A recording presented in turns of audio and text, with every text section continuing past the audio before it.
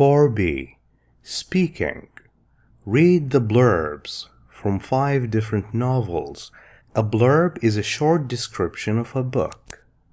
Novel is a long written story. It has to be written to be called a novel. And talk about what you would and wouldn't like about each of them. Then decide which two books you would definitely, surely be interested in reading, you would really like to read, and why. Use these words. Fascinating, fascinating, very interesting, exciting, page turner. A book that is a page turner, that means it is very exciting, it's very interesting. Original, it's completely new and unlike anything else, it's original. Unoriginal, it's a lot similar to other things. Gripping, when a book is gripping, you feel that you don't want to put it down. You want to continue reading all the time until you finish. Dull, boring, dull. Use these phrases. I would prefer, I would like to read this novel because of this. I don't think I'd like this book as I am not really into. I don't like this. I think would be fascinating to read because I would definitely read this because of this. Now let's read the first blurb, the first description. The Jungle Book. A jungle is a thick tropical forest. The book is written by Rudyard Kipling. That's the name of the writer, the author.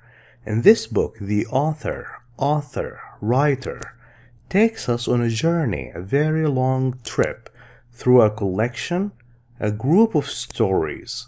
The reader follows Mowgli. Mowgli is the name of the hero, the protagonist, the main character in the story, who was raised, who grew up in the jungle. Through his adventures, as the book progresses, as the story of Mowgli continues, Mowgli grows up, gets older, and learns how to survive, how to stay alive in the world. Now, what do you think of this book? Personally, I would definitely want to read it because all other books by Kipling are gripping, very interesting and informative. Informative, they have a lot of information, and sometimes I can't put them down. The second description, the mysterious island. Mysterious, it is strange and we know very little about it. Written by Jules Verne. I believe this name is French. He is a French writer. It's not English and it is pronounced as Jules Verne. It's an adventure. A four-year adventure begins when five men escape, run away from the American Civil War. Civil War means Americans are fighting themselves. In a balloon. This is the balloon. They find themselves on an unmapped island. Unmapped? You can't find it on a map. It's an isolated island. Somewhere in the Pacific Ocean, Pacific Ocean, the largest ocean in the world, and start a new life there. Numerous dangers, a lot of dangers are at hand. They are at hand, they will happen shortly. The wild nature of the island. If an island has a wild nature, it's not suitable for people to live on. Why? This island has extreme weather conditions, heavy rains, blizzards, snowstorms, the weather is not easy on humans, and even pirates. Pirates are people who sail on the sea and they attack others. And an active volcano. A volcano that can erupt and shoots lava from its top. Will the men survive this challenge? Can anyone help them get home again? Read this classic story of courage bravery, and companionship. Companion is someone you spend a lot of time with. So because they were alone on the island, they became companions because they spent all the time together and hope and join the heroes on their adventures. Jules Verne is very famous for his adventure stories, which often involve include an element of mystery. Element, part of mystery, something not easy to understand. I am sure this book will be exciting, so I would prefer to read it. Moby Dick by Herman Melville.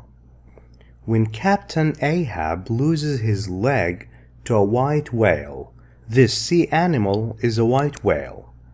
Named Moby Dick, the name of the whale is Moby Dick. He devises a plan, he comes up with a plan, with a strategy to destroy the animal, to kill the animal, at any cost, no matter what he needed to do, he wanted that animal dead. But Ahab's quest for justice ends in tragedy. A quest is a long search for something. He wanted justice, he wanted to do what is fair. The whale made him lose his leg, so he wanted to kill that whale. He thought it was justice, but it didn't happen. The ending was tragic, it was sad. Personally, I don't like the plot. I don't think I'd like to read this novel as I don't find the plot intriguing. The plot, the events, what the story is about. I think it's silly. Someone who wants revenge from a whale I don't find it intriguing, it's not interesting. Next, the shadow of the wind. Shadow is the black shape that someone makes when he or she is between a light and between a surface. Written by Carlo Ruiz Zafón. Rizafon. This man is Spanish. He lives in Barcelona. The book is mystery and thriller. A thriller is a book about crime or murder. Set in Barcelona, the events that took place happened in Barcelona. This is the story of a young boy called Daniel Simber, Spanish name, who is taken to the cemetery of forgotten books. A cemetery is a place where dead people are buried after they die and allowed to choose a book to keep. Daniel starts a search to find out more, to learn more about the mysterious writer of the novel he has chosen and why his books were destroyed over the years. As Daniel grows older, his interest in the author, in the writer, leads to cause him to gain enemies. When you gain enemies, you start having people who wish you harm. And he soon realizes, he soon becomes aware that in trying to save the author's work, protecting the author's work, Daniel is saving himself. I think that the novel is perfect for those who love mystery. Judging from the blurb, based on what we read in the blurb, the plot the events that happened in the story sounds really intriguing, and I think it would be fascinating to read. The Story of My Life by Helen Keller. This book is an autobiography. Do you know what that means, autobiography? That means the writer, Helen, wrote about the story of her life. So it's a true story about her life. Biography is when someone writes about someone else. Autobiography is when someone writes about his own or her own life. The book tells the story of a little girl who lost both her hearing and sight, the ability to see, at a very young age. That's the author herself, Helen. With the help of her teacher, Anne Sullivan, that's the name of the teacher. Helen learned to communicate, to exchange information with the outside world. What do you think of this book? The writer lost the ability to see and hear at a very young age, and then she continued her life. I find this book the most interesting of all the five. The story of Helen Keller is something that I would love to read because it sounds like a very emotional story. It has a very strong feelings. I think she must have been a very extraordinary, very unusual, extraordinary person, so I would like to learn more about her. Now we have to choose only two of these very interesting books. Now I didn't like this very much and I liked these four but I still have to choose only two. I would choose The Shadow of the Wind and The Story of My Life because the plot, the events, the things that happened in these novels sound original, unlike anything else, and far from being dull. They don't sound boring.